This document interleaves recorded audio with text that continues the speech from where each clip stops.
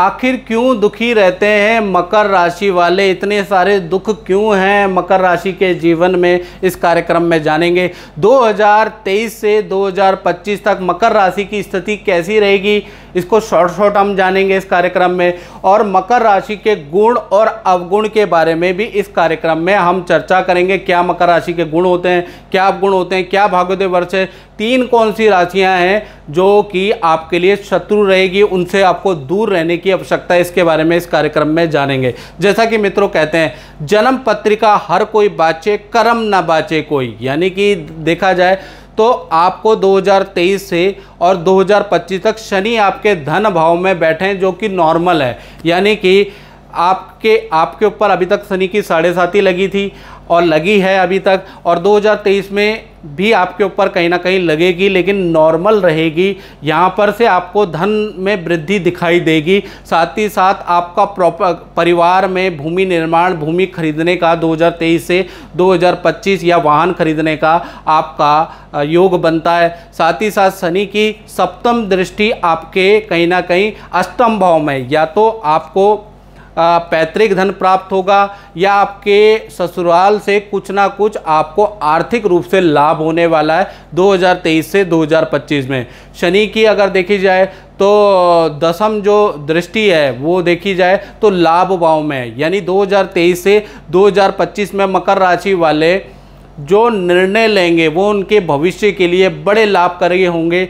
जो इन्वेस्टमेंट करेंगे, वो दो, वो आगे चल के आपको बहुत अच्छा लाभ देने वाले हैं। तो 2023 से 2025 का समय मकर राशि वालों के लिए लाभकारी। अब बात करते हैं, क्योंकि कहते हैं ना जन्म पत्रिका हर कोई बाचे कर्म ना बाचे कोई। तो अभी आपको कुछ ड्रॉबैक भी सुधारने तो और अच्छा हो जाएगा। तो अब बात करते हैं गुण और अवगुण के बारे में। यानी कि पूरा कार्यक्रम आप मकर राशि के लिए है। अब आपको जो राशि देखनी है इस कार्यक्रम में, वो जन्म राशि से जो आपकी जन्म राशि मकर राशि होगी तो ये कार्यक्रम आपके लिए ही है। मकर राशि जो होती है वो भा चक्र की दसवीं राशि होती है। स्वामी इनके शनि होते हैं और शनि कर्म के दा, दाता है न्यायाधीश है यानी कि अच्छे को अच्छा रिज़ल्ट देते हैं बुरे को बुरा रिज़ल्ट देते हैं। मकर राशि में एक खास बात है मित्रों मकर राशि में मंगल जो कह लीजिए कि नवग्रहों के सेनापति हैं वो इस राशि में जाकर उचके हो जाते हैं। यानी कि ये जो राशि होती है बड़ी निडर राशि होती है सेल्फ इंडिपेंडेंट राशि होती है। यानी कि आ, मकर राशि वालों को घर के काम भी आते हैं खाना बनाना भी आता है कपड़े धोने भी आते हैं काम कैसे करना है वो भी आता है तकनीकी चीज़ें भी आती हैं। यानी कि बिजली के काम भी घर के कर लेते हैं, बहुत बार कूलर भी खुद ही बना लेते हैं, पंखे भी खुद ही बना लेते हैं। यानी कि ये जो राशि है, ये सेल्फ इंडिपेंडेंट राशि है। आत्मविश्वास से भरपूर राशि है। बड़े से बड़े जो निर्णय होते हैं ना, चुटकियों में मकर राशि वाले ले लेते हैं। ये याद रखिएगा, जो मकर राशि वाले होते हैं, उनमें इंट्यूशन पावर बहुत ज़बरदस्त होती है। यानी कि व्यक्ति को पहचानने की कला, व्यक्ति किस तरह का है, दो मिनट इनके साथ जो बैठ जाएगा तो ये पहचान जाएँगे, ये व्यक्ति झूठी बड़ाई कर रहा है, चापलूसी कर रहा है अपना काम निकलवाने के लिए, या ये व्यक्ति वाकई में इंटेलिजेंट है, दो मिनट में यह पता कर लेते हैं। यानी इनकी जो इंट्यूशन पावर होती है कि ये वाला शेयर यहाँ गिरेगा, ये बिज़नेस यहीं तक चलेगा, इसके बाद गिर जाएगा। तो ये जो इंट्यूशन पावर है, ये इनके पास बहुत अच्छी है। कब कब कौन सी प्रॉपर्टी कौन सा प्रोजेक्ट आगे चल के कितना धन दे सकता है? ये जो इंट्यूशन पावर है, मकर राशि में बहुत ज़बरदस्त होती है। साथ ही साथ मकर राशि वाले देखा जाए तो भाषा में इनका कमांड बहुत ज़बरदस्त होता है। यानी कि भाषा ग्रामर उसके साथ में कब एक से अधिक ये एक तो भाषाएँ बोलते हैं अक्सर मकर राशि वाले देखा गया है। और भाषा में कमांड अच्छी है हिस्ट्री की पकड़, अध्यात्म की पकड़, राजनीति की पकड़ इनके पास ज़बरदस्त होती है। साथ ही साथ मकर राशि में राष्ट्रभक्ति कूट कूट के भरी हुई होती है। यानी कि ये बड़े तगड़े वाले मातृभक्त और राष्ट्रभक्त कहे जा सकते हैं। मकर राशि वाले जो व्यक्ति होते हैं, वो बहुत मेहनती होते हैं। जैसा आपने मकर देखा है ना, इनकी राशि का साइन है मकर।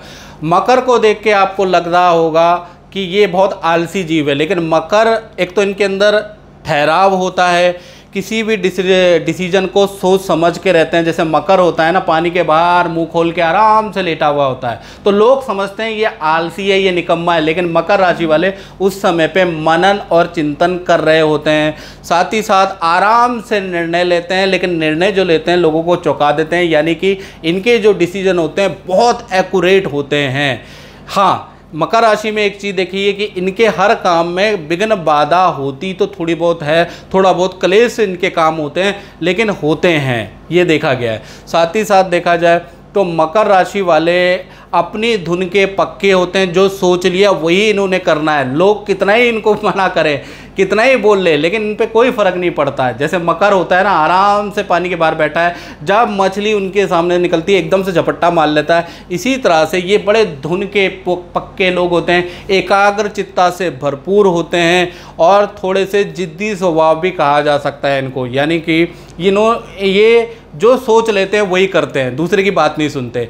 इन लोगों का भाग्योदय अगर देखा जाए तो प्रथम संतान के बाद होता है, यानी पहली संतान इनके लिए बड़ी लक्की होती है, कहीं ना कहीं कुछ ना कुछ लेके आती है, कुछ ना कुछ ग्रोथ करके आती है। हाँ मकर राशि वाले जातकों जातिकाओं के घर के अंदर भाई बहनों से थोड़ा मानसिक विचार नहीं मिलते हैं या वाद विवाद रहता है। बाकी और लोगों से इनके वाद विवाद नहीं रहते, बस भाई बहनों से थोड़े से मानसिक वाद विवाद रह सकते हैं। अब बात कर लेते हैं मकर राशि वाले जो जातक का भाग्योदय कब होता है। तो पहला तो प्रथम संतान के बाद ही होता है, यानी कि अगर मैं ईयर में बताऊँ तो कहीं ना कहीं उनतीस साल से छत्तीस साल के बीच में इनका भाग्योदय होता है। दूसरा, इनका जो गोल्डन पीरियड आता है, वो आता है पचास से लेकर छब्बीस छप्पन साल के अंदर।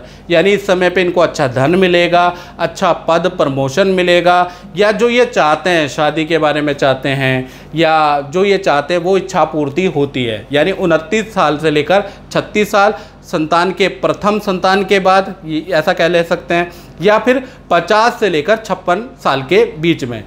तीन कौन सी राशियाँ मकर राशि के शत्रु होती हैं, उनके बारे में चर्चा कर लेते हैं। वो राशियाँ हैं, मेष राशि, सिंह राशि और कर्क राशि। ये तीन राशियों से इनकी बनती नहीं है, विचारिक मतभेद रहते हैं। इन राशियों से अगर मकर राशि वालों ने फाइनेंस से संबंधित या पार्टनरशिप कर ली तो वो पार्टनरशिप टूटने की संभावनाएँ ज़्यादा होती हैं। घर के अंदर भी ब्लड रिलेशन में भी, मेष राशि, सिंह राशि, कन्या राशि के अगर कर्क राशि के अगर लोग पाए जाते हैं तो इनसे इनके विचारिक मतभेद बहुत ज़्यादा रहते हैं। अब बात कर लेते हैं कि मकर राशि को क्यों मिलते हैं जीवन में इतने दुख? क्या कारण रहा? तो इनके दो ही कारण होते हैं मकर राशि के। पहला है, होता है जिद्दी स्वभाव, यानी कि ये किसी की बात नहीं सुनते, बहुत बारी अपने घर वालों की बात नहीं सुनते, बच्चों की बात नहीं सुनते, जो इनको करना है, करना ही है। यानी कि जिद्दी स्वभाव के कारण ये बहुत बार बहुत से प्रोजेक्ट में लॉस खा जाते हैं और धन हानि कर बैठते हैं। दूसरा, आलसपन, जैसे मकर होता है ना, बहुत से मकर राशि वाले बहुत एक्टिव और सक्सेसफुल मिलेंगे। बहुत से मकर राशि वालों को लोग आलसी कहेंगे, बहुत लेट लतीफ़ी में काम करेंगे। आज कोई काम दे दो तो वो कहीं ना कहीं करते हैं करते, करके सात दिन, दस दिन में वो काम पूरा होगा। यानी आलसपन से भरपूर राशि भी होती है। और जो आलसी मकर राशि वाले होते हैं, वो वो सक्सेसफुल ज़्यादा देखे गए नहीं हैं। तो दो चीज़ें बच्चों, आपको दूर करनी है। एक तो जिदपन नहीं रखनी है, और आलसपन इस राशि पे अच्छा सूट नहीं करता, क्योंकि शनिदेव की राशि है, मेहनती राशि है। तो मित्रों, इस कार्यक्रम में बस इतना ही। मुझे दीजिए जाए जय माता दी।